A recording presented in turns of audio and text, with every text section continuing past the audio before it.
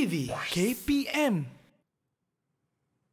Hello, Assalamualaikum dan selamat sejahtera kepada anda semua yang sedang menyaksikan Road to Success SPM 2020 bersama saya hos anda, Wani Carey. Alright semua, apa khabar? Wani harap anda uh, semua sihat, menjaga kesihatan dan yang paling penting, kena sentiasa kekal menjaga SOP. Macam mana? Hmm, ni banyak kali dah Wani cakap ni. Macam mana kenalah sentiasa basuh tangan, pakai hand sanitizer, pakai pelitup muka dan kena sentiasa menjaga penjarakan sosial. Alright anda semua, seperti yang kita semua tahu hari ini merupakan hari hari kelima SPM dan untuk hari ini subjek kita agak istimewa kerana apa? Kita akan belajar mengenai subjek reka cipta dan kita akan fokus kepada kertas satu. Tapi kalau nak tahu kita menjemput siapa gurunya, apa kata kita saksikan dulu profil guru kita hari ini.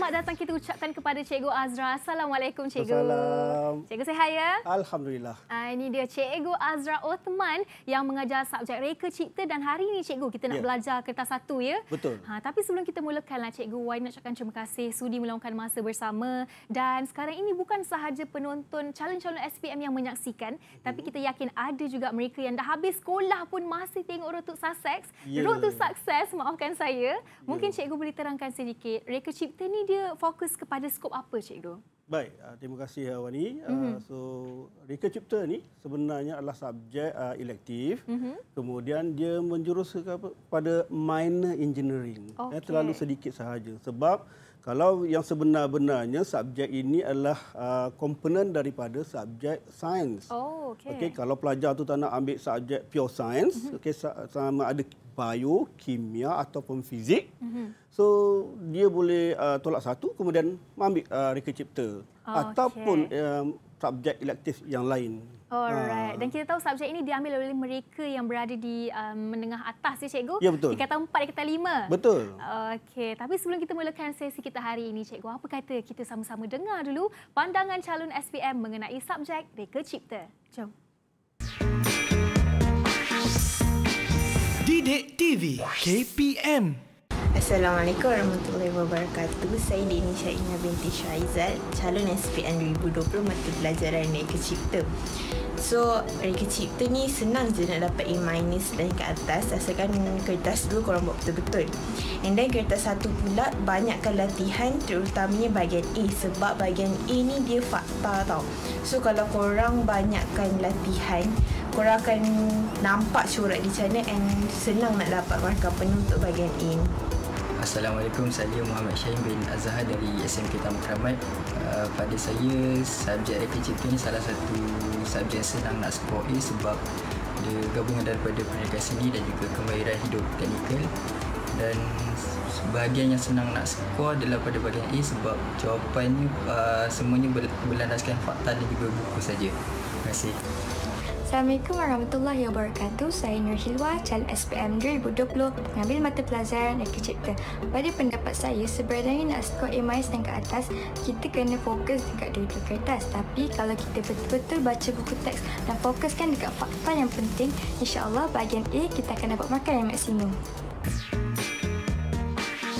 Didik TV KPM Ha, senang nak dapat A minus ke atas Ya, cikgu. sebenarnya, Ya cikgu. kan. Memang senanglah subjek reka cipta ni. Betul. Tapi ada pelajar yang kata subjek ni ada gabungan pendidikan seni dan juga kemahiran hidup. Betul ke cikgu? Betul, betul. So dalam komponen buku-buku teks yang uh, apa yang mereka ada, Mhm. mm-hmm. okey, so dia memang ada contohnya macam prinsip, uh, Okey. kemudian elemen, mereka bentuk. So memang similar dengan uh, PSV. Mhm. Mm-hmm. Okay, manakala kemahirannya sama juga seperti RBT.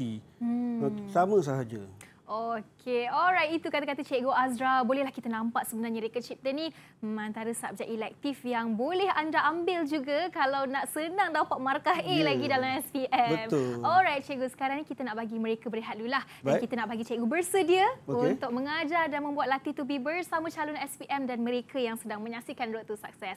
Jangan ke mana-mana, kita kembali selepas ini. Didik TV KPM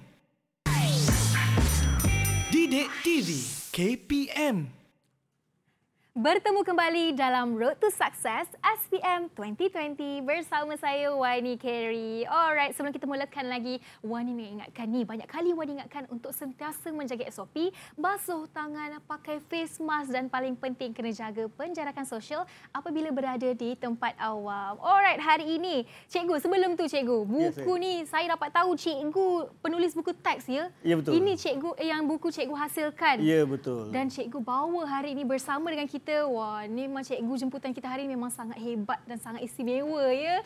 Oleh kerana itu kita nak menjemput sekali lah cikgu. Pelajar-pelajar dan anak murid cikgu dari SMK Petaling, Ya. Kuala Lumpur yang akan bersama dengan kita sepanjang program ini. Assalamualaikum. Adik-adik. Waalaikumsalam. Okey. Assalamualaikum. Ah, tu dia. Anak murid cikgu. Mungkin cikgu boleh perkenalkan uh, satu persatu? Okey. Uh, Assalamualaikum. Apa khabar? Ha, senyum. Sihat tak? Sihat? Sihat? Semua sihat tak? Sihat, Alhamdulillah. Okey, bagus bagus. Baik, yang saya perkenalkan anak murid saya. Okey, yang di ujung sana tu uh, Siti Nuraini, kemudian sebelahnya adalah Nurul Ain, kemudian uh, Amni, Syahir dan Nurul Zahida dan Said Daniel. So mereka ni Ah, adalah pelajar-pelajar saya. Ni hari ni cikgu pilih ke mereka volunteer cikgu? Volunteer. Volunteer nampaknya ada dua saja kumbang di situ ya yang volunteer. Lebih ramai pelajar perempuan hari ini.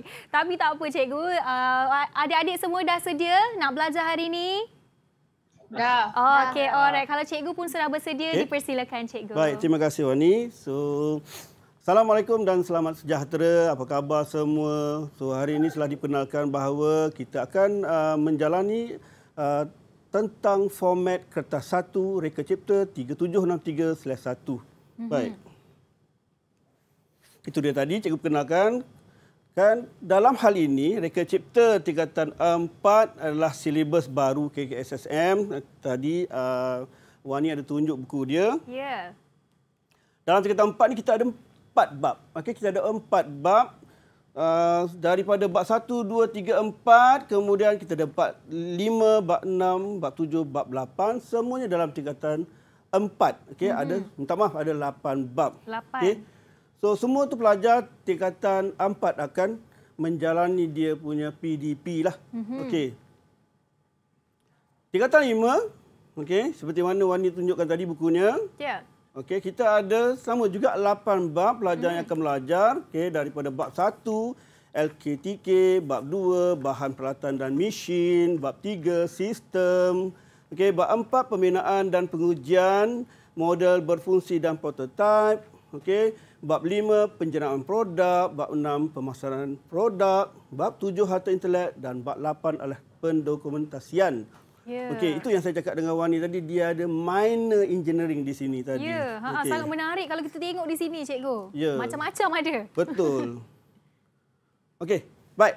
Reka cerita ini juga macam saya bagi tahu tadi adalah uh, mata pelajaran uh, elektif iktisas hmm. ataupun short formnya MP. Okey, dia ada banyak lagi mata mata pelajaran iktisas yang lain.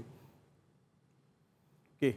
Sebelum saya teruskan format kertas satu, saya nak bawa okay, pelajar-pelajar saya dan juga pelajar-pelajar yang berada di uh, rumah, okey, juga bersama-sama dengan guru-guru saya kira di, mereka pun ada sekali. Ya. Baik, pengertian reka cipta. Apa itu pengertian reka cipta? Dari segi Dewan Bahasa dan Pustaka bermaksud penghasilan satu produk baharu atau barangan baharu atau pengubah suaian sesuatu produk yang sedia ada. Maksudnya reka cipta ni benda yang baru. Mm-hmm. Sebab itu kita ketengahkan okay, uh, projek-projek yang mana ada tema yang baru dikeluarkan oleh pihak lembaga peperiksaan maka kita beri kepada pelajar pengajar akan fikirkan apakah yang boleh mereka buat boleh mereka bantu untuk masyarakat sekeliling. Oh, kiranya ini ibarat in- invention lah ya cikgu. Yes, uh, invention. Okey. So nanti pelajar-pelajar ni kan dikira pelajar kita punya idea yang bagus. Ya. Okay, pada masa yang sama uh, ada banyak pertandingan yang dikeluarkan di peringkat uh, kementerian. Ya. Jadi pelajar-pelajar ni boleh involve dengan adanya subjek ini mereka lagi kreatif dan inovatif. Mhm. Itu dia. Okey. Pengertian reka cipta. Baik. Sebelum nak menyusuri reka cipta ini, pelajar-pelajar harus tahu apakah proses reka cipta yang mereka kena tempuh. Mhm. Okey, ini adalah proses-proses yang mereka kena buat. Okey? Okey. Boleh cikgu? Okey, kejap ya. Ha, kita cari pen dia. Dia Ah, kena kena tekan cari dekat pula situ. mana pen dia tadi. Ah, itu dia. Alright. Baik, yang pertama, pelajar harus tahu proses mengenal pasti masalah. Mhm. Kena tahu apakah masalah yang mereka tempuhi untuk buat produk tersebut. Okey? Apabila dah kenal pasti, maka pelajar akan buat soal soal selidik, soal Ya. selidik dan analisis masalah. So kat sini pelajar akan buat uh, soal selidik berdasarkan ada beberapa dalam kuteks tu ada terangkan mm-hmm. kan, kan salah satu daripada dibuat temu bual bagi borang pada kawan-kawan ataupun pada ibu bapa ataupun pada masyarakat berdasarkan masalah yang mereka hadapi. Ya. Okay. Setelah mereka dah buat so- soal selidik dan analisis masalah, so mereka akan menjalankan penyelidikan. Mm-hmm. Mereka akan jalankan penyelidikan. Dan dah buat penyelidikan, kemudian dah ada data dan maklumat, maka dia akan buat penemuan dan menghasilkan idea yang baru. Maksudnya di sini dia, dia orang akan sketch, lakar, okey, digambarkan seperti mana yang mereka uh, inginkan produk tersebut. Ya. Last kali cadangan dan penyelesaian masalah mesti ada. Mhm. Ha, kalau di situ dah cukup semua ini, maka dapatlah satu uh, kesimpulan produk yang baru mereka hasilkan nanti. Oh, okey. Baik, tadi Wani ada cakap, Hmm. okay? uh, Rika Cipta dan invention, betul? Ya. Okey, baik. Mm-mm. Kita nak bagi tahu sekali lagi bahawa ada dua perkara yang berbeza kat sini. Oh. Okey, apa itu Reka Cipta? Reka Cipta merupakan sebagai produk yang pertama kali dihasilkan new product, uh-huh. totally new product. Okey, manakala inovasi pula pengubahsuaian pada produk tersebut supaya menjadi lebih bertenaga, okey, uh-huh. dan bermakna. So inovasi ini terjadi setelah produk itu dicipta. Bermaksud produk yang sedia ada, Ya. okey, kemudian dia tambah baik pada produk tersebut. Okey, Okey. mungkin dari segi fungsinya, mungkin dari segi bentuknya, warnanya, ha, itu yang dinamakan inovasi. Inovasi. Ya. Reka cipta ni uh, produk yang baru. Produk yang baru. Okey, faham, faham. Right? Mhm. Dan inilah perkara yang ditunggu-tunggu oleh pelajar. Hmm. Okey, so pelajar akan menjawab peperiksaan kertas uh, satu Ya. uh, pada 17 Mac nanti. Jadi cikgu hanya refresh balik so bahagian mana yang perlu anda kena tumpukan. Jadi saya kira uh, di kalangan guru-guru pun dah bagi tahu pelajar-pelajar yang di luar sana bahawa ini adalah pemakahan SPM Mereka Cipta yang sebenarnya. Bagaimana mm-hmm. mereka nak skor dan nak target uh, apa kertas yang betul dan mm-hmm. dapat markah yang tinggi. Ya. Baik. Kita pergi kepada uh, kertas 1 3763/1. Itu kod dia untuk reka cipta. Ya. Right. So, dia ada dua kertas dalam reka cipta. So, kertas 2 3763/2 okay, ini adalah kerja khusus ataupun folio dan artifak. Artifak itulah model yang mereka buatkan. Mm-hmm. Okey. Dan markahnya 60, wajaran peratusnya adalah 30. Mereka dah buat dan mereka dah hantar dan mereka dah submit dan benda tu telah di, telah dinilai. Ya. Okey. Tinggal lagi 70% je Tinggal lagi nak cari. 70% lagi nak cari. Hmm. Kan senang tu nak dapat Ya, betul. ya, nak dapat A tadi. Ya, Kan? A minus ke atas. Sekurang-kurangnya. Ya. Tapi kita harap pelajar-pelajar kita pandai A dalam tangan. Ya. Okey. Baik. Kertas satu, ini yang kita nak bincangkan. Okey, sebab 17.3 mereka akan duduk. Baik, faham betul-betul. Mungkin selepas ini uh, ada juga di kalangan guru-guru yang lihat dan akan bantu semula untuk refresh balik pelajar-pelajar. Okey? Baik, kertas satu, perpisahan bertulis subjektif. Subjektif ya pelajar-pelajar, dia tak ada pun objektif, subjektif. Okey, dan Di sini adalah markahnya 100, wajaran markahnya adalah 70%. Tinggal 70% lagi nak dapat E. Hmm. Okey? Jumlah keseluruhannya adalah 100%. Baik pelajar-pelajar. So saya kira uh, format ni ada juga di kalangan guru-guru yang dah beritahu kepada pelajar-pelajar. Saya cikgu hanya punya refresh saja eh. Hari ini refresh saja. Format pentaksiran kertas satu, kita ada 8 instrumen, 8 perkara. Yang pertama, kalau pelajar-pelajar lihat di situ, okey, jenis instrumen bahagian A, bahagian B, ujiannya adalah subjektif. Mm-hmm. Okey. Manakala yang kedua, okey, jenis itemnya lah respon terhad dan respon terbuka. Untuk kertas A, respon terhad, bahagian B pula adalah respon terbuka. Perkara ketiga, bilangan soalan untuk bahagian A 20 soalan, wajib jawab semua. Hmm. Dan bahagian B pula empat soalan sahaja juga wajib jawab semua. Okey? Manakala perkara yang keempat, okey, perkara keempat bahagian A 50 markah, bahagian B juga 50 markah. Okey. Perkara kelima, wajaran yang ditetapkan tadi adalah 70%. Pelajar nak dapat 70%. Kat saya ni pun dah, dah, dah boleh tengok eh bahawa 20 soalan kita keluarkan, 4 soalan Okay? Mm-hmm. Saya rasa pelajar boleh ingat, boleh hafal dan boleh tulis dengan betul. Nanti saya akan tunjukkan bagaimana nak dapatkan jawapan yang sebaik-baiknya. Yeah. Baik. Perkara yang ketujuh, konstruk. Konstruk ini bentuk bahagian A kalau dilihat mengingati dan memahami. Eh? Pelajar kena ingat dan pelajar kena faham. Di mana nak ingat, di mana nak faham. Itu adalah isinya pada penerangan guru kamu kan penerangan tersebut ada dalam buku teks. Tak lari ke mana pun. Semuanya dalam buku teks sama ada tingkatan 4 mahupun tingkatan 5. Ya. Yeah. Alright. So untuk bahagian B pula dia ada banyak konstruk di situ sebab bahagian B walaupun 4 soalan okey walaupun 4 soalan okey walaupun 4 soalan kita lihat pelajar harus pandai Eh, yang pertama memahami, yang kedua uh, kemahiran menganalisis, yang ketiga menilai, yang keempat aplikasi, yang kelima mencipta.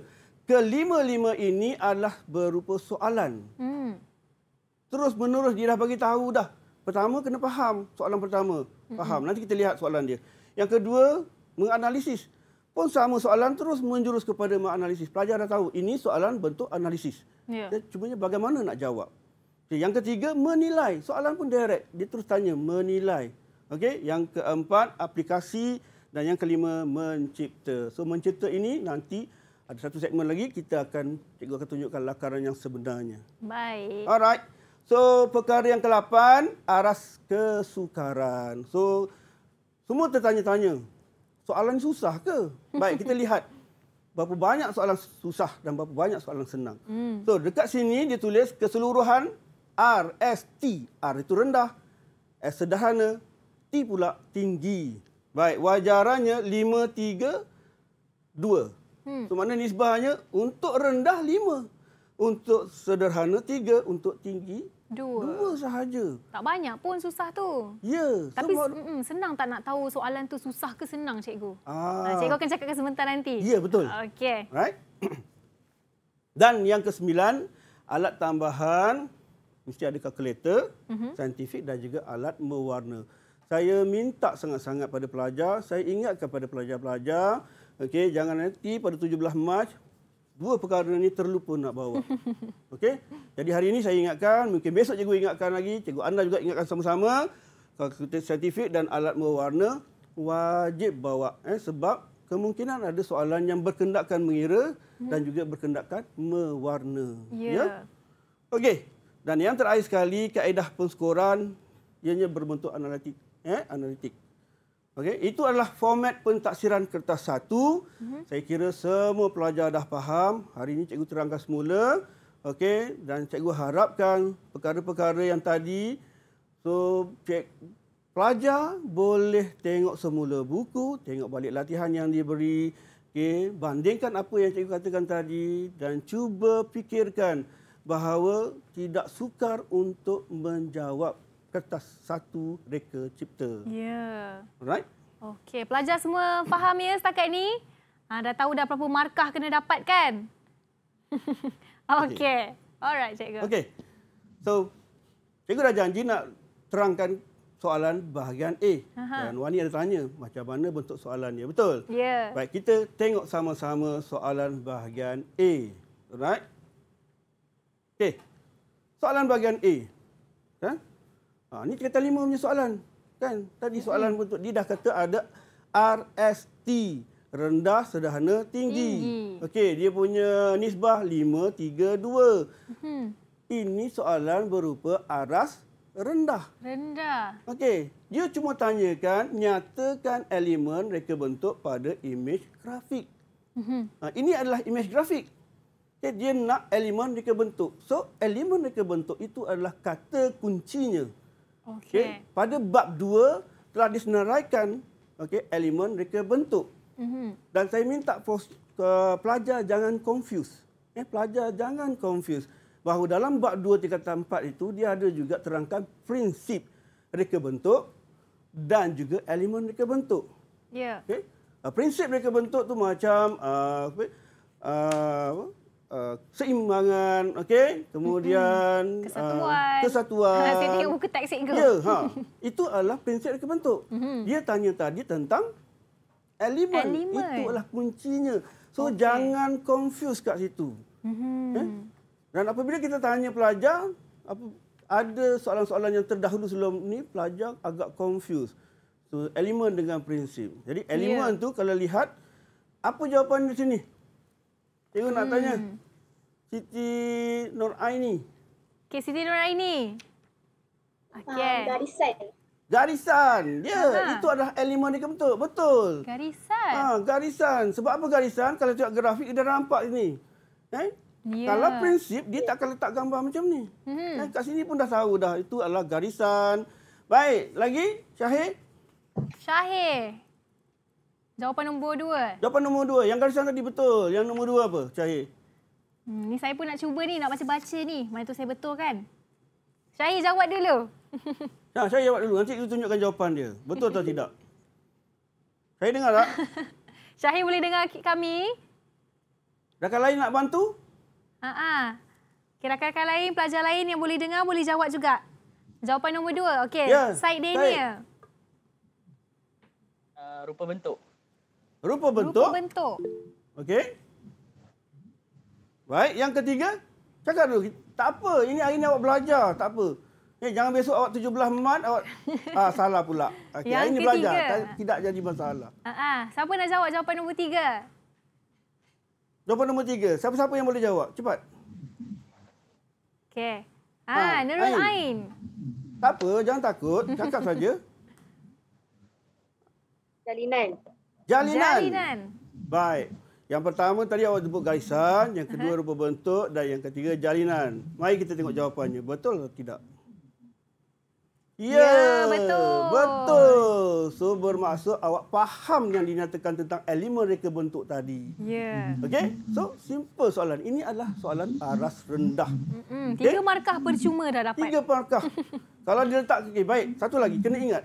Kalau dinyatakan tiga markah, so jawapannya tiga juga. Satu, satu, satu. Mhm. Okey?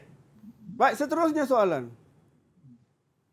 Soalan bahagian A, kita lihat di sini, nyatakan nama pereka cipta bagi hasil ciptaan berikut. Nyatakan nama pereka cipta bagi hasil ciptaan berikut. So dia tanya nama pereka cipta. Ruang jawapan telah diberi, ruang jawapan telah diberi, gambar pun telah diberi. Okey? So gambar tu berkenaan yang pertama jetboard, okey? Kemudian hasil ciptaannya. Okey, jangan confuse. Kalau dia tak tulis ini bermaksud dia nakkan produk apa. Aha. Tetapi telah dinyatakan jetboard dia nak pereka cipta. So siapa pereka cipta di sini? Siapa boleh tahu boleh bagi tahu cikgu? Ha, Ah, okey. ini Belik pelajar- dulu buku teks tu. Ha ni tingkatan empat punya ni. Okey, saya pun cuba belik juga. Cikgu ni bab berapa cikgu? So ini bab pertama. Oh, bab satu. Ya. Okey. Jom kita cari Baik. juga. Siapa boleh bagi tahu cikgu? Siapakah pereka cipta? Hmm. Okey, siapa siapa nak cuba? Ya, ah Siti, Siti Nur Nuraini. Aini. Ya, siap- Apa dia? Um, Encik Zulkifli. Encik Zulkifli. Betul? Awak yakin dengan jawapan tu? Ha. Bagus. Yang Yakin. penting awak yakin. Baik.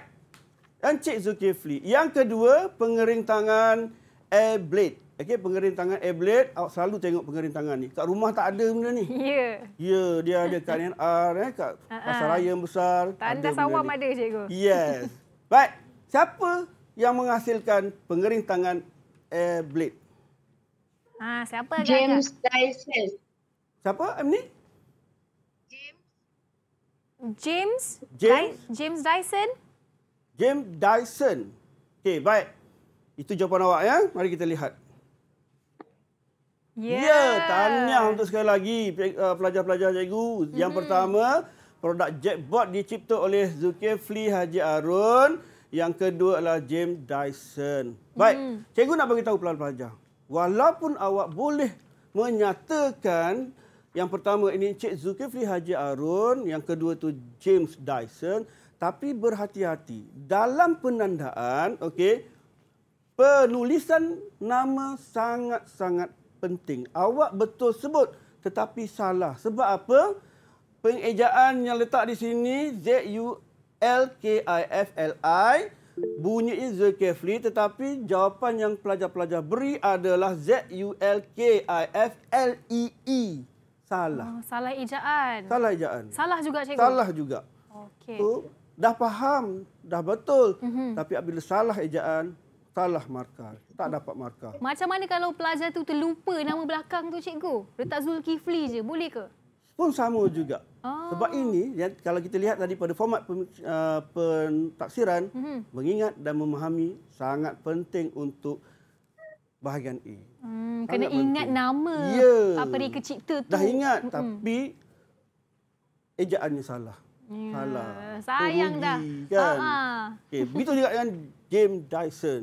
Okey, Ya. J E M E S betul. Tiba-tiba D I S O N. Dyson. Salah. Okey, Ah, okey. Eh? Lepas ni kena belajar menghafal nama ejaan pula. Ya, kena faham benda tu. Okey? Baik, kita lihat seterusnya. Ah, ini bahagian gambar rajah. Okey, ini bahagian gambar rajah masih lagi dalam ruang R. Ruang R maksudnya rendah, eh? So, baik, kita baca sama-sama. Rajah empat menunjukkan sebuah bekas makanan. Mhm. Sebuah bekas makanan. Okey. So, tengok dalam bekas makanan tu ada nasi lah, ada itu, ada ini walaupun hitam putih. Eh, boleh Ya. baca dah. Baik. Nyatakan dua kelebihan fungsi bekas makanan tersebut.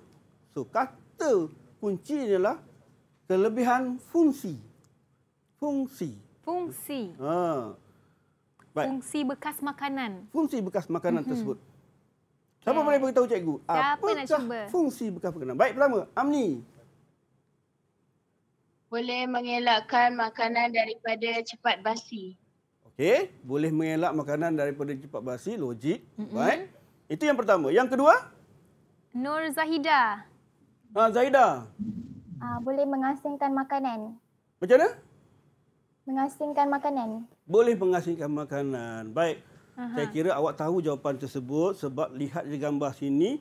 Okey, yang pertama tadi tadi Zaida cakap boleh mengasingkan makanan. Fungsi dia sebab dah bagi dah ruang. Ya. Kan? Dah bagi dah ruang tu. Okey, nasi ada, ikan ada, eh sayur ada, dah nampak kompartmen tersebut. Mhm. Okey. Yang kedua dia kata tadi okey, mengelakkan apa? Dari cepat basi. Dari cepat basi. Okey. Baik, kita lihat jawapan tersebut. Ya, betul. Sebab apa boleh dapat mengelakkan cepat basi kat sini? Kalaulah satu ni tak ada kompartmen tadi, Ya. okey Zaidah kata tak ada, tak ada pengasingan. Okey, hari ni mak awak letak uh, pukul 6, nasi ada, ikan ada, lauk ada, lima jenis semua dalam satu tanpa ada kompartmen. Mm-hmm. Pukul 12 awak nak makan, tengok-tengok. Ah. Basi dah. Whole set semua ada kat situ. kan? Ya, Ah, betul. okey. So, cepat basi. Betul lah dah campur semua. Ni dah asing. Mhm. So, bagus jawapan tersebut. Terima kasih. So, nampak tak? Dia tanya pasal kelebihan fungsi. Mhm. Kemudian pelajar mungkin terfikir, okay? mana nak cek jawapan? Dekat sini dah beri jawapan khusus apa yeah. nak Ya. dijawabkan. Sebab tu dia bagi rajah tinggal tengok je kan Tengok cikgu. je, betul. Alright. Susah ke? Ha, senang. Okey, bagus. Macam terpaksa je tu. Senang, senang. Baik, kita tengok soalan seterusnya.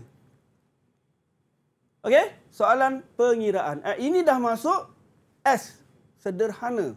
Mm-hmm. Eh, sederhana. Sebab sebab itu cikgu minta mesti ada kalkulator eh, kalkulator saintifik mesti bawa benda tu. Tolong bawa.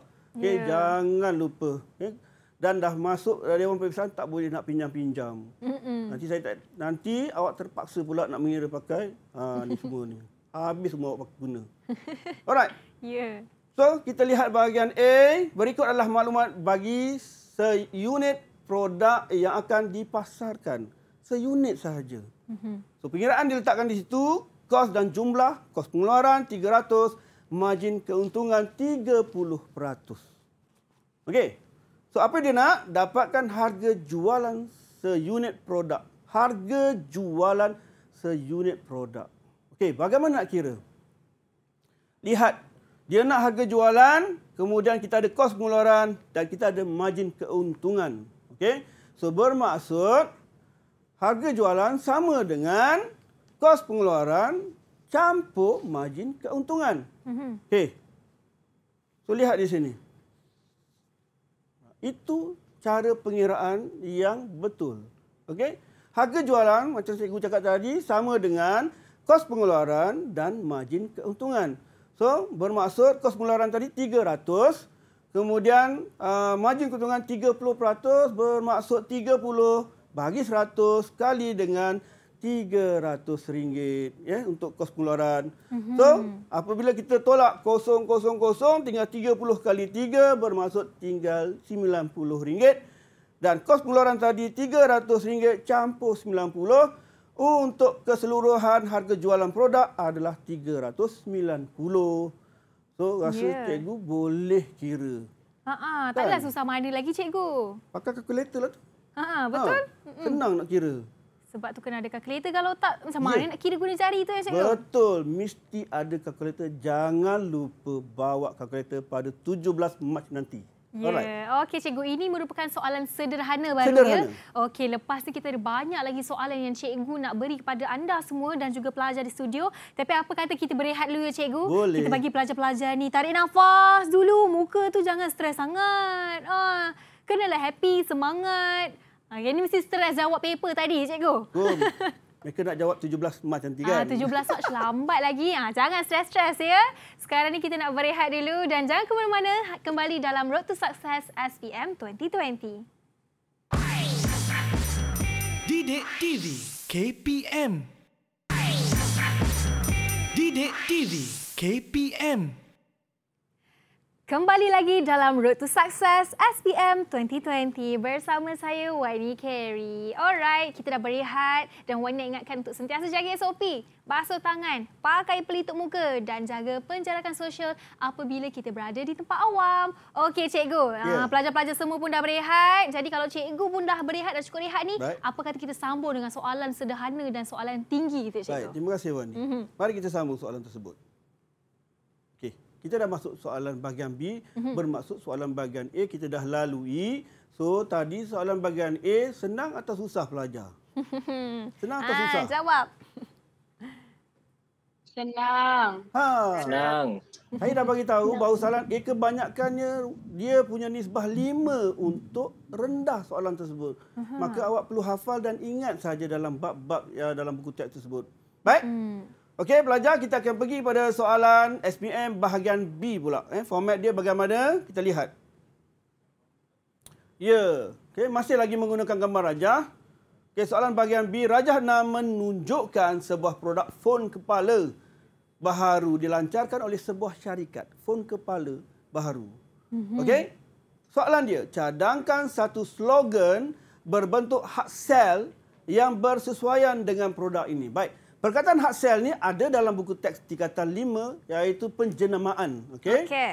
Okey, penjenamaan. Kalau tak silap cikgu, dia ada dua apa? bab yang sama-sama rapat, penjenamaan dan juga pasaran. So dalam Hmm, pemasaran produk. Yes. Okey. Okay. Baik, cadangan cadangkan satu slogan berbentuk hak sel yang bersesuaian dengan produk tersebut. Hak sel ini bermaksud macam yang awak buat lakaran mesti ada slogan. Mm-hmm. Eh, slogan inilah untuk menarik eh, pembeli-pembeli membeli produk tersebut. Mm-hmm. Eh, belum pakai lagi tapi dah dengar nama slogan tu rasa seronok nak pakai. Ya, betul. Okey. So Kiranya slogan ni ada dalam buku teks ke pelajar kena cipta sendiri, cikgu? kena cipta. Oh, okey. Ha, kena cipta berdasarkan produk apa yang di dilukis. Alright, Ah. menarik. Ah, siapa nak cuba? Baik, siapa nak cuba sini? Baik, Saya, saya. saya, cikgu. yes. Siapa tu? Syahir? Uh, Saya. Okey. Saya ke saya? Saya. Uh, saya. Okey, baik, saya. ah, So, apa jawapan dia a saya? music for a music for everyone. Music for Everyone. music for everyone. Okay, good. Music Mm-hmm. for everyone. Yes, saya. Ringan dan mudah dibawa. Tak dengar. Ringan dan mudah dibawa. Ringan dan mudah dibawa. Okey. Boleh diterima. Ada lagi? Okay, jangan bagi jawapan satu saja kalau awak tak yakin. Boleh tambah satu lagi. Mhm. Okey. Mana tahu pemeriksa bermurah hati nak bagi. Ya, siapa? Amni. Ah, Amni. Ha. Okey, Amni. Yes. Bunyi yang terbaik untuk anda. Bunyi yang terbaik untuk anda. Wah, bagus. Sedap Wow. slogan tersebut. Okey, baik. Kita lihat jawapannya. Okey. Walaupun yang diberi tadi tidak ada dalam ini, mm-hmm. tetapi semuanya betul. Hmm. Sebab slogan. Eh? Semuanya yeah. betul. Ini antara jawapan-jawapan yang dibawa masuk lah. Okey, sentuhan menarik, hawa telinga. Kan sedap dia dengar. Yeah. Belum pakai lagi dah tahu oh, sedap benda ni kan. Kemudian music for uh, everyone. Okey. Dan bunyi yang terbaik untuk anda. So mm-hmm. itu antara slogan-slogan. Kan? So jawapannya jangan takut untuk awak melunaskan pada soalan tadi. Ya. Tulis je. Okey? Baik, hmm. itu soalan 6. Masih lagi berbentuk sederhana. Sederhana. Yang penting kena ada kaitan dengan fon kepala tu ya, cikgu? Yes, mesti gambaran benda tu. Okey. Kan? Baik. Okey, soalan seterusnya. Baik, lakaran satu reka bentuk logo yang bersesuaian dengan produk baru. Okey, dah. Ini dah masuk untuk awak punya uh, minda hmm. nak memikir. Okey, sebab dia ada analisis dan sebagainya. Okey. Lakarkan satu reka bentuk logo yang bersesuaian dengan produk baru ini. Mhm. Kan? Lakarkan satu. Dia cakap dah satu reka bentuk logo. Tadi slogan. Ya. Ini logo. Kan? Slogan Logo. dah lukis dah. Eh dah tulis dah elok-elok. Sekarang nak slo, uh, Logo. logo pula. Ya. Okey. Baik dekat sini uh, mungkin pelajar-pelajar boleh lukis di di sana. Aha. Cikgu nak tunjukkan apakah uh, konsep logo yang diterima pakai dalam jawapan ini. Baik. Ah, cikgu ambil jugalah logo NTV7. Ya. Apa dia punya kriteria logo yang perlu ada? Yang pertama, ringkas. Eh, tak berbelit-belit, senang sahaja dia tulis itu. Mm-hmm. Okay, ringkas. Kemudian unik, mana uniknya? Tujuhnya unik. Kan? Mhm, Kalau dia ya. tulis macam tu saja tujuh, ini tujuhnya ada dia punya perspektif lah, Ya. macam terapung, terbang. Nampaklah 3D, 4D, 5D. Yes, betul ni. Kemudian asli. Ya. Mesti yang genuine. Bukan awak tiru di mana-mana, tak ada. Mhm. Right? Mudah diingati. Kalau inilah bawa di mana-mana, di kereta ke, di jalan raya ke, dah tahu dah. Ya. Okay? Kemudian kesesuaian produk dan pengguna. Eh, tampal di mana-mana, itu dah logo dia. Eh, tahu dah itu headphone. Kan? Ianya bermakna tiada unsur negatif, muka type yang sesuai, okay? tidak terlalu abstrak. Mm-hmm. Ya? Jelas. N dia macam mana, T dia macam mana, V.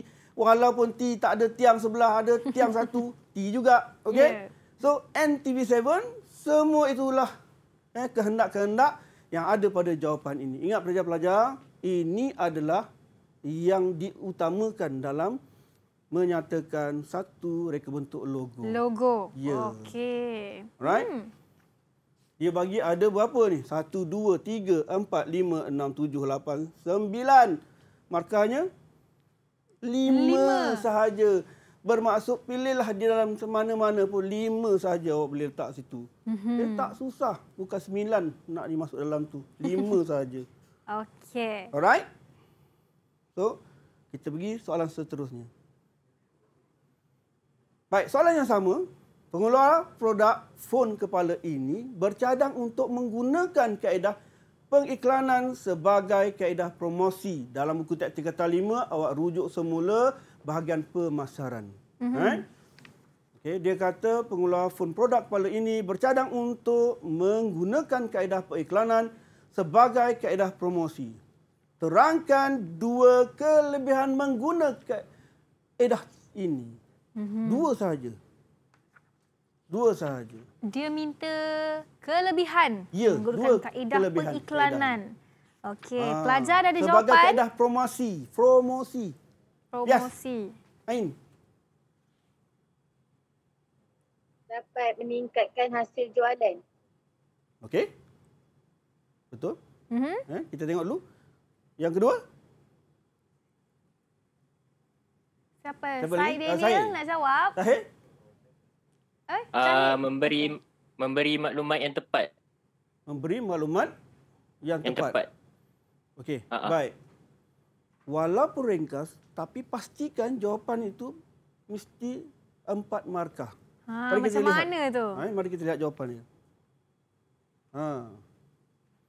So tadi ada sebut bagus jawapan tu informasi dapat disalurkan dengan cepat dan pantas eh tersebar luas okey kemudian memberi maklumat yang tepat terperinci dengan cepat okey tambah satu lagi kalau awak tak yakin sekurang-kurangnya jawapan tu empat markah meningkatkan hasil jualan dengan cepat so mana-mana jawapan yang di atas satu campur satu kemudian dia tengok pula betul atau tidak jawapan tadi. Adakah Mhm. ia memberi impact untuk mendapatkan empat markah? Okay? Bergantung kepada penanda soalan itu. Tapi Ya. kalau ini jawapan dia, betul untuk awak dapatkan empat markah penuh. Oh, kira cikgu um, walaupun empat markah di sini dia tak perlu uh, huraikan panjang-panjang. Ya, tak oh, perlu. Oh, jawapan pendek-pendek je. Betul. Sebab kat situ pun dah kata dua kelebihan. Uh-uh. Ha. Okey, Kan tak perlu baik. nak huraikan panjang-panjang. So, empat markah. Senang saja. Ya, betul Kan? cikgu. Mm-mm. Okay, baik, kita lihat soalan seterusnya.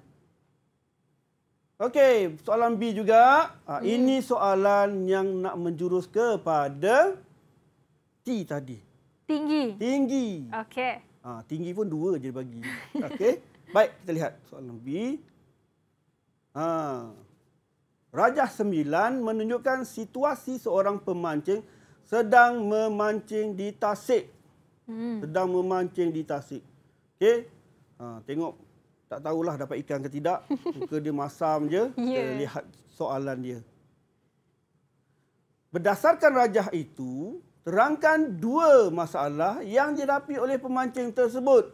Ha, tengok gambar pun tahu apa dia masalah dia. Hmm. Tengok gambar pun tahu tadi apa masalah dia. Dua masalah yang dihadapi oleh pemancing tersebut. Rasa-rasa apanya? Okey, siapa nak jawab ni? Hmm, boleh tahan juga soalan dia cikgu? Ha. Hmm, dua Lepas tu dia kata aras tinggi. Ya. Kan? Siapa nak cuba? Tak apa. Siapa nak cuba? Salah Tak pun tak apa. apa. Yang penting kena berani mencuba. Ya. Siapa? Boleh. Siapa? Amni dah ada jawapan. Nurul Ain okey. Semua tengah berfikir cikgu. Cepat. Ada jawapan? Siapa yang mencuba? Ah, Nurul Ain. Nur Dah. Ain. Baik, Nur Ain. Sakit dia penyandar. Macam mana Nur Ain? Sekali lagi Nur Ain. Pinggang yang sakit kerana tiada penyandar. Pinggang yang sakit kerana tiada beranda. Okey. Tiada Kalau- tempat menyandar. Ya, mm-hmm. tadi tengok pemancing tu kan duduk atas batu, tak ada Ya. beranda kan. Ha. Oh, okey, baik. Tu jawapan yang pertama. Jawapan yang kedua? Ya, Said. Uh, menghadapi Said, dekatkan mikrofon dekat mulut. seperti menghadapi cuaca panas seperti tak ada payung dan sebagainya Ah. untuk melindung dia kepanasan. Okey, tidak ada Menghadapi cuaca pelindung panas. cuaca panas. Hmm. Okey, baik. Tengok eh, jawapan dia empat markah. Apakah jawapan yang dikenaki pada soalan ini? Sebab soalan ni adalah aras tinggi. Mhm. Betul. Eh, pelajar memahami yang pertama tiada penyandar. Bila memancing kan lama. Ya. Kan? Ha. Memberi sokongan pada pinggang ketika duduk. Betul lah, duduk dekat batu. Kalau ada kerusi, boleh sandar. Okay? Ya. Pinggang elok, pinggang okey. Penyandar kaki mengelak seluar kotor. Pun boleh juga masuk di situ. Right? Mhm. Kemudian yang kedua tadi, pelaras penyandar boleh diselaraskan. Jawapan pertama, dia dah bagi penyandar. Kemudian dia ambil balik daripada jawapan pertama, masuk kedua, dia baiki balik jawapan tersebut, dia tulis pelaras. Maksudnya, penyandar tadi boleh ke depan, ke belakang. Aha. Dia tambah pelaras dekat situ. Ya. So, ini adalah jawapan yang terbaik. Sebab kalau dilihat di situ, pelajar berfikiran luar daripada kotak. Mhm. Okey? Boleh menyalaras sudut bukaan penyandar. Boleh menyalaras sudut bukaan maksudnya bukan sahaja 90 darjah, mungkin uh, ke belakang, mungkin ke depan. Ya. Okey? Kemudian Okey. ditambah pula penyandar tu ada ada pelapik getah eh beri keresahan kepada pen, uh, apa pemancing, Pemancing. tadi, lembut eh kemudian penyandar memberi keresahan pada tangan ketika memancing. Ya. Alright. So, Okey. jawapan yang dibuat oleh pelajar tadi harus eh, berkaitan dengan lakaran yang dinyatakan. Mhm. Jangan keluar daripada tersebut. Okey. Alright? Baik, itu cara menjawab untuk soalan uh, aras tinggi ya cikgu. Ya, betul, Wani. Uh, Okey, jadi Wani harap anda semua faham segala input yang cikgu berikan. Tapi cikgu, dengar-dengar Ya. lepas ni cikgu nak buat something yang interesting. Ya, betul. Ah, Okey, kalau nak tahu apa, jangan ke mana-mana. Kita akan kembali dalam Road to Success SPM 2020 sebentar saja lagi. Didik TV KPM Didik TV KPM Bertemu kembali dalam Road to Success SPM 2020 bersama saya Wani Kerry. Baiklah, seperti yang Wani janjikan tadi, cikgu kita dah sediakan sesuatu yang sangat istimewa di studio hari ini. Ha, kalau nak tahu, kita akan bersama dengan Cikgu Azra kita lah. Dipersilakan cikgu. Terima kasih Wani. Baik. Uh, sebelum saya teruskan uh, apa soalan dan jawapan yang saya akan lakarkan ini, okey. Saya kira pelajar-pelajar juga harus menjawab uh, soalan um, bahagian B juga. Ini antara soalan-soalan aras tinggi ya pelajar-pelajar. Mhm. So baik kita lihat di sana uh, rajah satu menunjukkan satu reka bentuk face eh face shield yang telah direka oleh Encik Zamri untuk dipakai semasa memotong rumput okay, di halaman rumah.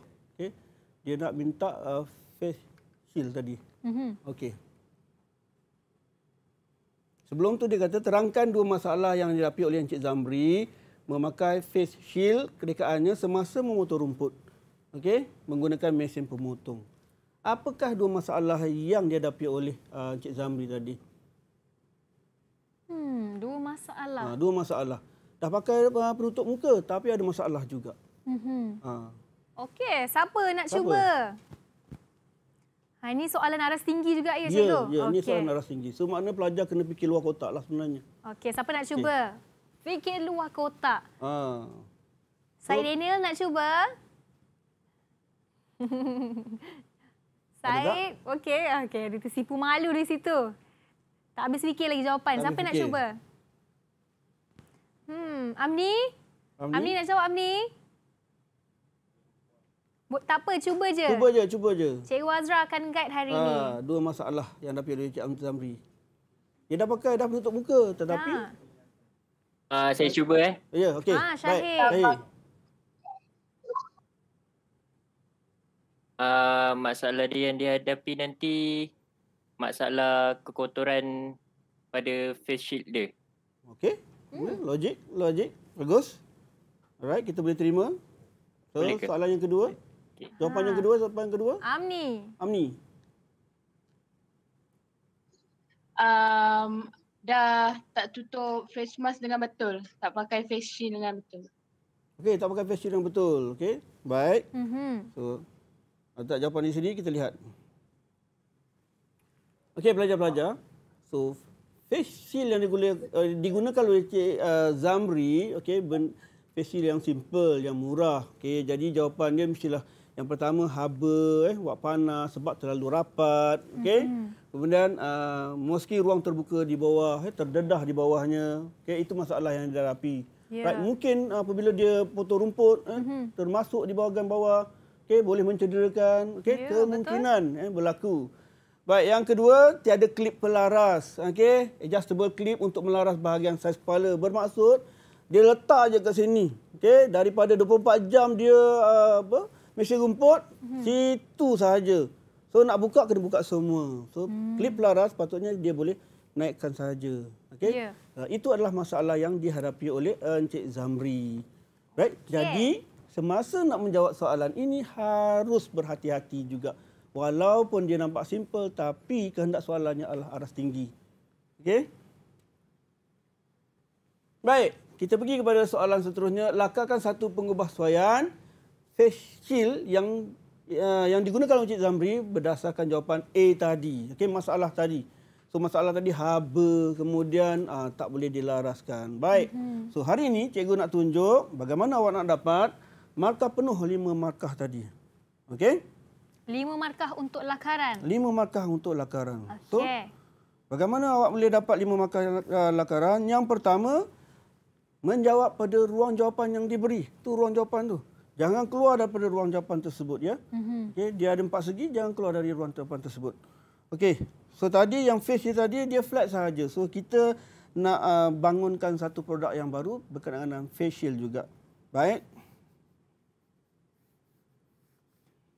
Kita mulakan itu cikgu Laka menggunakan apa ya cikgu? Okey, cikgu Melaka menggunakan uh, color pencil. Mm-hmm. Okey.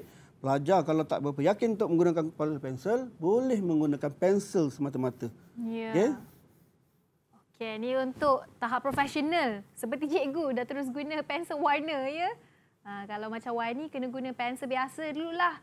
Lukis sikit padam, lukis sikit padam Ya. macam tu. Betul. Kalau tak yakin guna pensel. Pensel. Okey, tanyalah pelajar kat rumah ni. Kalau uh, anda semua melukis selalu guna apa? Pensel ke terus pensel warna? Pensel. Pensel. Pensel. Okey. Nampaknya kita samalah. Ha, kita di level yang sama ya menggunakan pensel. Alright. Kita nampak cikgu sedang melakar face shield ya cikgu? Ya, face shield. Mhm. Okey. Sambil-sambil kita menunggu cikgu buat lakaran, kita borak-borak dengan adik-adik dekat uh, dekat studio bersama kita. Okey, ni dah sedia ke belum ni nak duduk untuk kertas reka cipta pada 17 Mac nanti? Ke masih um, ada ragu-ragu? Macam mana? Dah confident? 50-50. Belum, 50-50 juga. 50-50. Oh, masih ada Ah, lagi. masih tu. study lagi. Boleh lagi, tak apa. Sekarang ni kita ada lebih kurang uh, seminggu lebih je. Jangan risau, boleh lagi. Uh, tapi lagi satu, Kak Wai nak tanyalah. Cikgu Azra kat sekolah ni garang tak? Ke paling best? Best. Ah, Best. best. Ah, Cikgu Azra paling friendly. paling friendly. Ha, ni tak jaga hati eh. Ha, ni betul eh? Ah, Ah, Ya ke awak ni? Okey. luahan dari hati. Luahan dari hati. Ha, tu dia cikgu. Oh, Ah, tak apa, apa yang penting walaupun ada yang kata tak bersedia tapi macam Wani dululah. Walaupun banyak paper juga Wani ambil ada last minute kita kadang-kadang rasa macam tak confident. Tapi jangan risau. Selagi ada masa selagi itu kita cuba untuk buat latihan buat latih tubi jangan pernah berhenti di tengah jalan. Sebab anda masih lagi ada masa dan peluang tu masih ada. Okey, ni kira Kak Wani nasihat jugalah untuk adik-adik dekat rumah tu. Tahu? Jangan putus asa awal, okey? Ah, okey, semua okey. Okay. semua muka tu dah Okey. pressure tu. Pressure, stress, tak apa. Kak Wan ni faham. Kak Wan ni pun pernah duduk SPM juga. okey. Cikgu lukis tu dah, oh, dah nak siap dah tu cikgu. Ya, ya, ya nak siap. Nanti cikgu terangkan apakah bahagian yang perlu awak kena ter- tulis. Mhm. Untuk soalan bahagian B, lima markah. Jadi objek dia perlu satu objek saja ya cikgu? Ya, satu saja. Satu Tapi saja. dalam satu tu kena ada lima perkara yang kena kena tulis. Okey. Yang ada sembilan tadi ya cikgu? Sembilan ciri tadi? Ah, itu untuk logo. Logo. ah, okey. ini untuk produk. Produk. Okey, lain-lain. Ha, sambil-sambil Wani nak belik jugalah buku teks. Yang Cikgu Azra dah terbitkan. Hmm. Tapi best lah cikgu buku teks cikgu ni. Dia sangat berwarna-warni. Ah, membuatkan macam tu. pelajar lebih semangat untuk belajar. Kan? Ha ah. Ni kalau tak guna sebaik mungkin ni, hmm, rugi rugi. Nah, jadi adik-adik, adik-adik, ah pelajar-pelajar Cikgu Azra, gunakanlah sebaik mungkin ya buku teks ni. Kak Wani dulu masa sekolah buku warna semua hitam putih je. ha, tu dia. Okey, cikgu pun Okey. sudah hampir siap. So kita tajuk dia. Oh, itu cikgu menggunakan Hari ni kita gunakan pastel, soft Pastel. pastel eh. So kalau apa yang sekarang ni dia dah ada pakai teknologi uh, komputer kan. Mhm. Uh, kita boleh buat daripada komputer. Tapi kalau dalam exam mana-mana nak buat komputer. Itu cikgu menggunakan kapas. Ya, kapas. Uh. Alright. Mhm. So, selalunya pelajar akan bawa uh, apa color pencil lah dalam perpisahan. Ya. Tapi kalau nak bawa semua ni boleh ke cikgu? Boleh, boleh tak ada masalah. Sebab dia nak markah penuh kan, tu yang penting. Ya. Okey, pelajar-pelajar kat rumah tu. Anda semua pandai melukis tak? Pandai. Pandai. Bolehlah. Bolehlah. Okey. Tapi subjek reka cipta ni banyak melukis dah okey lah kan? Semua mesti dah profesional kan? Boleh lah. Hmm, kita nak tanya Ya, Syahir. ya Syahir paling um, objek yang paling susah yang Syahir pernah lukis apa? Uh, objek paling susah. Ha ah. Dia macam ada berkaitan dengan alam semula jadi lah. Macam objek tu kita nak jadikan dia ada bentuk macam bentuk burung. Oh, Kena ikut pada kreativiti sendiri. faham. Oh, itu kena lukis uh, masa dalam reka cipta juga? Ya, kena lukis. Ada Ah, macam-macam. Betul, betul. Okey. So, tu kertas dua eh, kertas Ker- dua. Dia buat Kertas dua. ah. Okey, macam Zahidah pula. Ha, Zahidah, apa objek yang Ya. paling susah pernah Zahidah lukis untuk reka cipta ni? Uh, benda yang uh, macam elektronik. Elektronik. Okey, elektronik, alam semula jadi macam-macam ya. Hmm, agaknya kalau Wani diberi uh, pilihan untuk lukis, hmm, Wani rasa Wani lukis orang lidi je lah paling senang. Yang penting semua orang tahu itu orang. Uh, orang lidi, senang. Okey cikgu. Okey. Nak cikgu sudah habis siap ke? Yes, cikgu dah habis siap. Mhm. Okey, Oh, saya nak tunjukkan apakah yang perlu ada pada satu-satu uh, jawapan tadi. Mhm. Wow, macam-macam teknik ya digunakan oleh Cikgu Azra hari ini. Itu face shield. Kepada anda yang tidak tahu Cikgu melukis apa, itu sebenarnya adalah lakaran face shield. Yang diambil daripada soalan bahagian B. Ini untuk lima markah. Ya, soalan bahagian B. Ha, okay. Ini aras tinggi dan anda boleh lihatlah seperti yang cikgu lukiskan sekarang ini. Baik para pelajar. Hmm. Okey, Wani. Cikgu terangkan kat sini. Okey, jawapan dia ialah yang pertama dia kata lima markah. Ya. Yeah. Okey, baik. Yang pertama, lima markah mesti ada produk. Satu. Produk. Okey, yang kedua kena ada logo. Logo. Okey. Satu markah, yang ketiga ke, uh, apa jenama logo tadi, okey. Aha. Okey, kemudian kena ada uh, bayang dia, okey, kena ada slogan. Okey. Yang satu tu adalah bertumpu pada kebersihan. Oh. Keseluruhan tadi. So, satu satu satu satu bersih tadi. Kebersihan lukisan. So, kebersihan lukisan. Okey. So, maka lima markah penuh untuk jawapan yang tadi. Hmm, boleh tahan mencabar juga ya nak nak dapat markah lima markah Ya. untuk ni cikgu. So, pelajar harus fikirkan produk yang sesuai nak dilukiskan Mhm. pada ruang jawapan yang sekecil itu. Ya. Okey. Jadi sebab tu perlu ada tadi kalkulator Hmm? dan juga alat mewarna. Inilah alat mewarna. Ya. So cukup kalau kalau nak bawa uh, apa pensel color pun tak payahlah nak bawa yang satu set penuh kan. Mhm. Bawa lah lima batang warna yang berbeza-beza kan senang untuk dia pilih warna. Kalau lim, su, semua ni Mhm. nanti nak mana satu langsung ambil masa. Betul. Betul. Baik, itulah pelajar. So bahagian-bahagian yang pelajar perlu jawab untuk lima markah tadi dalam pengubah pengubah penyesuaian face daripada yang flat cikgu lukis kepada yang melengkung kemudian boleh lilit di kepala. Ya. Baik. Soalan seterusnya. Lakarkan satu perkembangan idea berdasarkan jawapan di B. Tadi kita dah lukis yang ini, Mhm. dia nak perkembangan idea. Okey? Perkembangan idea. Ah, perkembangan idea.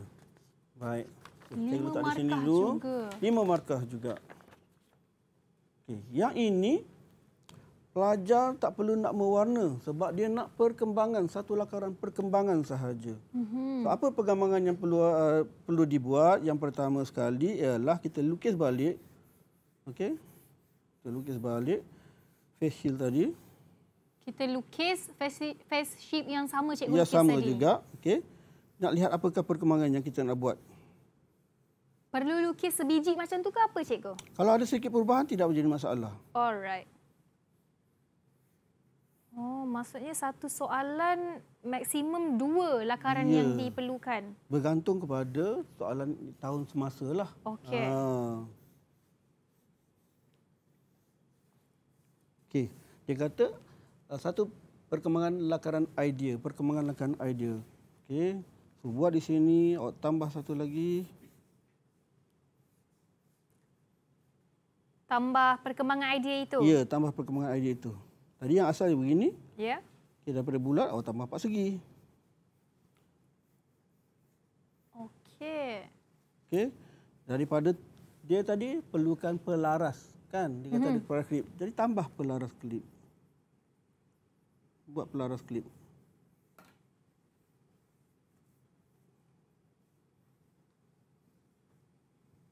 Pelaras untuk mudah dibuka. Angkat. Ya. Diangkat. kan? Hmm, tapi selalunya kalau diminta perkembangan idea cikgu kena ada berapa poin penting di dalam itu? Okey, sekarang cikgu tu. Bagus ni soalan tu. Okey, berapa yang perlu ada kat sini sekurang-kurangnya dua.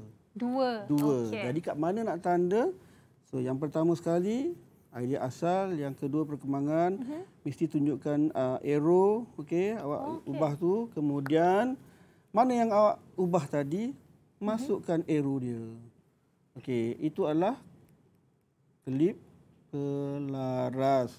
Mhm. Kemudian ceritakan ia boleh dibuka dan ditutup. Mhm. Okey. Kemudian di sini daripada muncung ini, okey. Awak tuliskan, awak buatlah dia ada apa? lubang eh. Kemudian Okey, yang ini sama juga. Okey. Penutup hidung. Okey, tanda situ dan nyatakan apakah kelebihan penutup hidung. Hmm, boleh dibuka dan dicuci.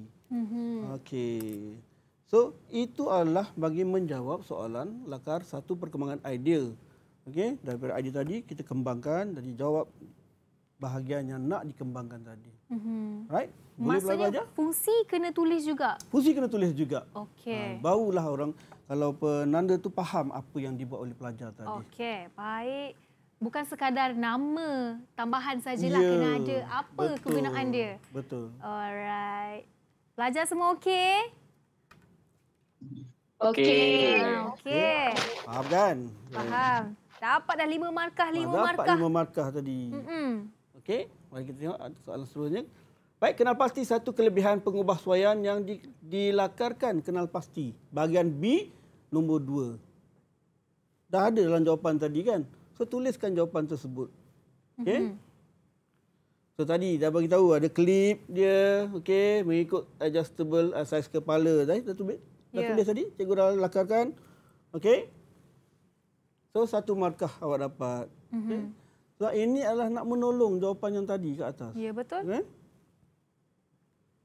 So, Mhm. uh, itulah jawapan. Sekali lagi cikgu nak tekankan, apabila nak mewarna, Mhm. okey, ataupun nak melakar, okey, pastikan awak punya pensel, awak punya pen atau apa saja alat tulis, okey, ada dakwat. Ah, mata tu betul-betul uh, berasah. Ya. Jangan sampai-sampai tumpul, baru nak asah dan sebagainya. Jadi dia akan menyukakan anda untuk menjawab tadi. Kan? Ya, Ah. betul-betul. Okey, nampaknya tamat sudah semua perkongsian cikgu untuk Ya. kertas satu reka cipta. Betul. Ah, di sini kita nak tanyalah pelajar-pelajar. Uh, so far anda semua macam mana? Faham tak input yang cikgu berikan hari ini? Faham. Faham. Faham. Okey, disebabkan dah faham lah Kak Wani nak tanya. Mungkin Faham, faham. ada yang masih ada benda nak tanya cikgu untuk kali terakhir ni. Bukanlah kali terakhir tapi ini kira kali terakhir beramai-ramai. Ha, kalau ada soalan yang ingin diajukan kepada cikgu Azra dipersilakan. Macam, hmm, cikgu saya selalu buat salah dekat sini. Apa yang saya patut buat? Macam tu ke? Siapa ada keraguan boleh tanya cikgu? Okey, Siti ada apa-apa nak tanya? Cikgu, Ya.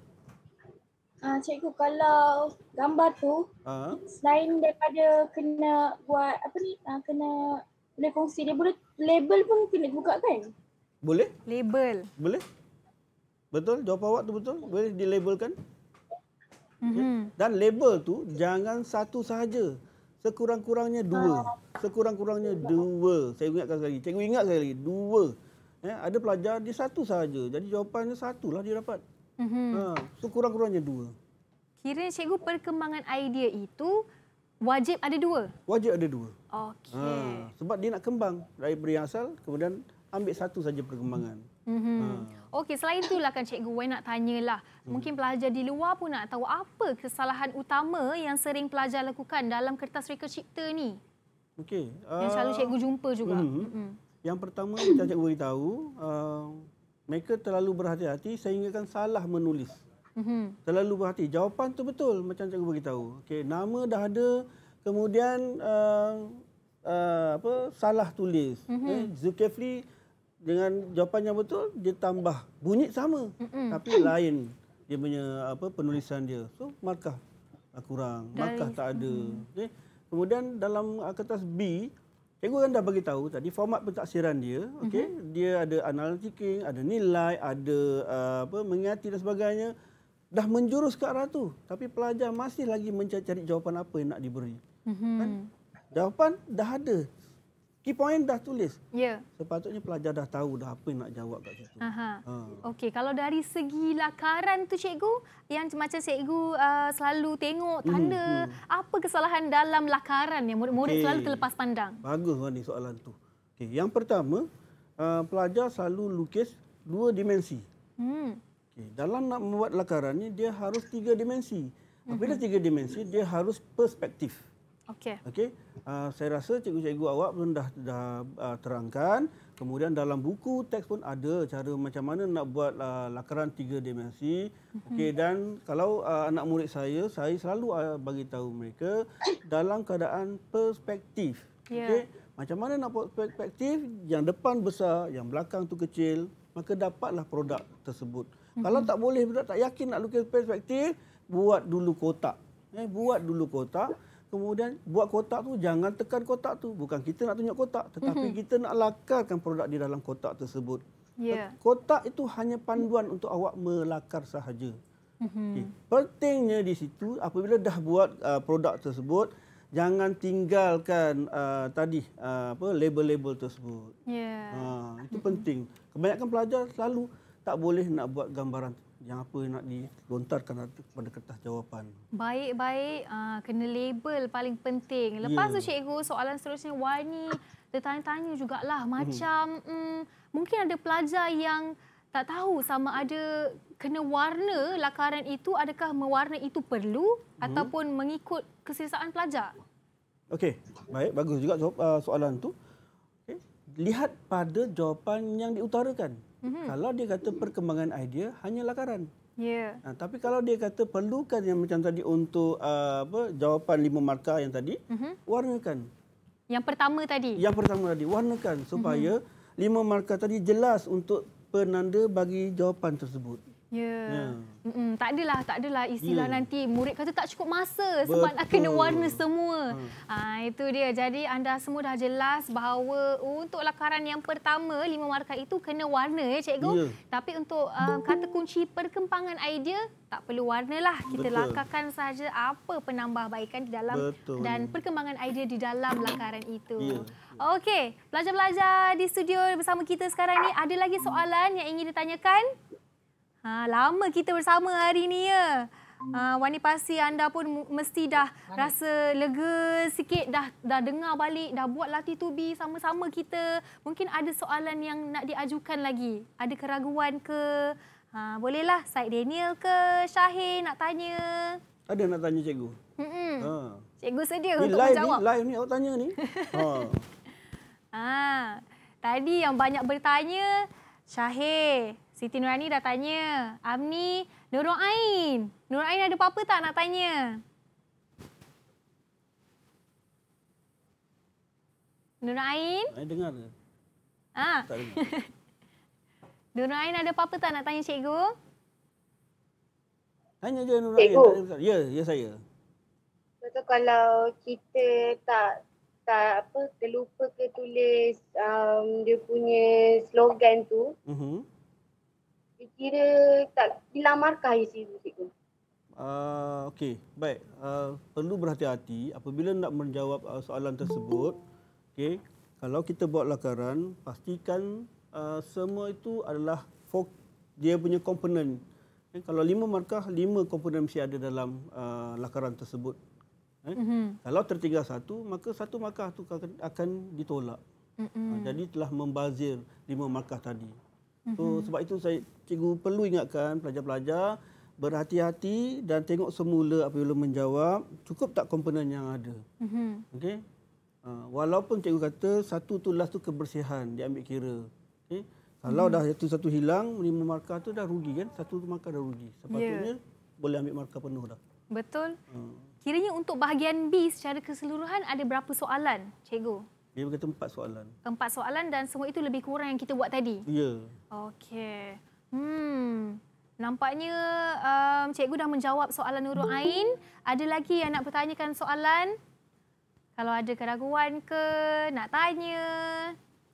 Hai, nak tanya tips-tips kat cikgu ke boleh juga? Ha, Syahir, dah buka mic dia tu? Cikgu, Ya saya. uh, kalau yang gambar asal yang kita nak label tu, Mhm. gambar asal tu kena letak dia punya label-label dia tu ke? Macam contoh apa yang tak ada dekat yang kita ubah sesuai tu. Okey, faham.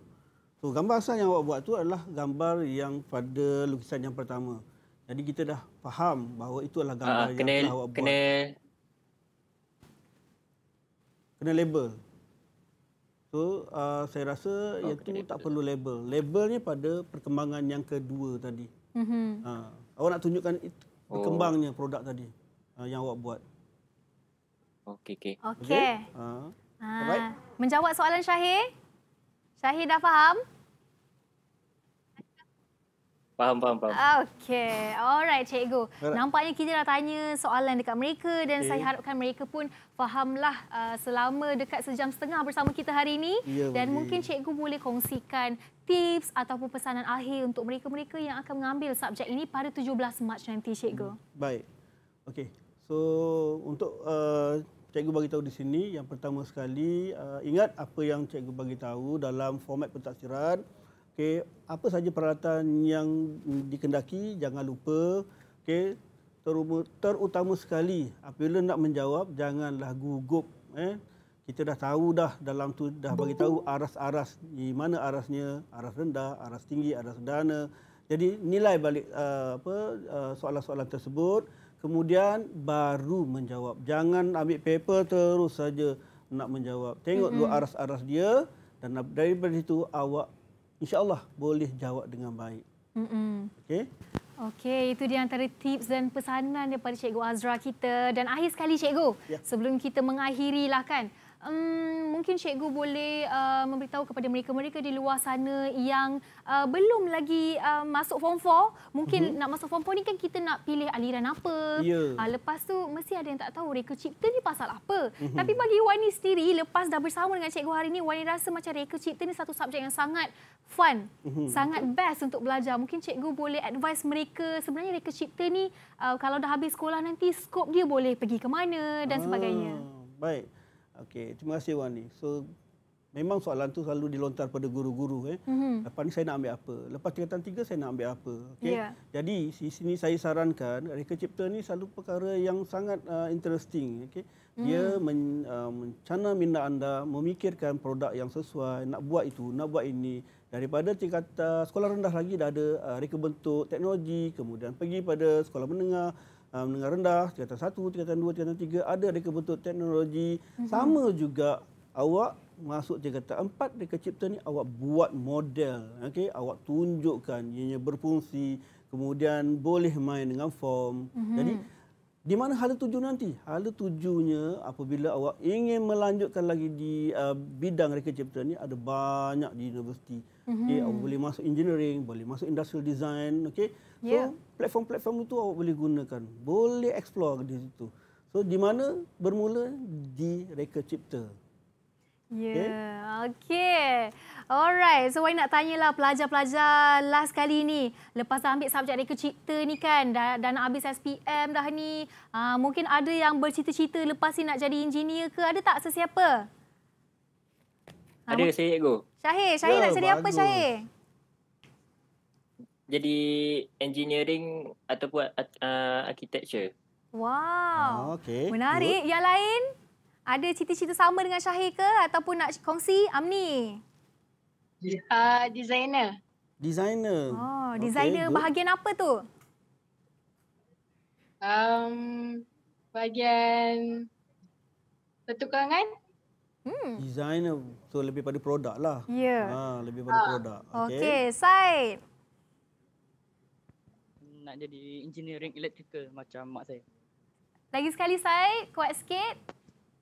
Nak jadi engineering electrical macam mak saya. Oh, engineering Ah, electrical. electrical. Yes, ada dalam produk dalam engineering electrical cipta pun ada Wah, electrical. menarik ya. Ah, Okey, dah lalang ni kita nak tanyalah semua kan. Ah, bagi menarik sikitlah kita dapat tahu cita-cita mereka. Siapa lagi belum cakap tadi? Siti Noraini. Ah, Siti Noraini, cita-cita nak jadi apa? Hmm, tak pasti lagi. Oh, tak Masih berfikir tak apa, ada masa lagi. Dan akhir sekali kita belum tanya Nur Zahida. Eh Nur Aina tanya ke tadi? Okey, boleh boleh kongsi cita-cita anda. Lepas ambil subjek reka cipta ni. Okey, Zahida? Uh, uh, macam ar- arkitek kot. Arkitek kot. Okey. Ah, lepas ni jangan ada kod kat belakang tu. Okey, dan bagus, akhir bagus. sekali kita nak tanya Nurul Ain lah. Ah, Nurul Ain nak jadi apa habis SPM nanti? Designer. Designer. Designer. Nampaknya okey. semua cita-cita mereka tu um, ada berkaitan dengan Ada reka cipta berkaitan ya dengan- cikgu. Betul, ada berkaitan dengan reka cipta. Mhm. So, Ah. teruskan belajar. Ya. Jadi awak boleh capai cita-cita awak. Ya, sangat menarik ya bila kita boleh tahu cita-cita calon-calon SPM ni supaya mereka sendiri rasa berkobar-kobar untuk habiskan SPM dengan baik, dapat keputusan yang baik dan melanjutkan pelajaran di universiti habis SPM nanti. Alright, InsyaAllah. Cikgu Wadi nak Ya. ucapkan terima kasih banyak Sama-sama. kerana sudi bersama kami di Road to Success hari ini selama hampir satu jam setengah ya kita bersama. Dan Wani nak ucapkan terima kasih kepada pelajar dari SMK Petaling, Kuala Lumpur. Wani ataupun Kak Wani nak doakan agar anda semua berjaya um, untuk memperoleh markah yang cemerlang lebih-lebih lagi untuk subjek reka cipta ini. Ya. Uh, dan buatlah ibu bapa dan guru anda, Cikgu Azra bangga dengan pencapaian anda. Okey, InsyaAllah. semua janji okey? Terima kasih. InsyaAllah. Amin. Ah, semua Okey. janji kena dapat A. Okey? Allah. Amin. Alright, jadi itulah dia untuk uh, subjek Reka Cipta Kertas satu hari ini dan terima kasih kerana sudi bersama dengan kami. Tapi jangan ke mana-mana. Lepas ini kita akan sama-sama belajar dan buat latih tubi untuk asas kelestarian. Uh, kita akan bersama dengan Afiq Syazwan selepas ini hanya dalam Road to Success SPM 2020 dari saya Wani Carey. Bye-bye, jumpa lagi. Didik TV KPM Assalamualaikum warahmatullahi taala wabarakatuh. Saya Nik Syarul Alif bin Ahmad Syahimi. Uh, bapa kepada anak saya Nik Khalis Alif uh, yang akan menduduki peperiksaan SPM. Uh, saya ingin mengucapkan uh, semoga berjaya, uh, sentiasa tenang dan uh, dipermudahkan urusan ketika uh, menjawab soalan peperiksaan. InsyaAllah uh, semoga berjaya. Saya ibu kepada Batrisha Umairah, calon SPM tahun 2020, berdoa dan berharap agar beliau dan rakan-rakan dapat menjawab dengan baik dan mendapat keputusan yang cemerlang.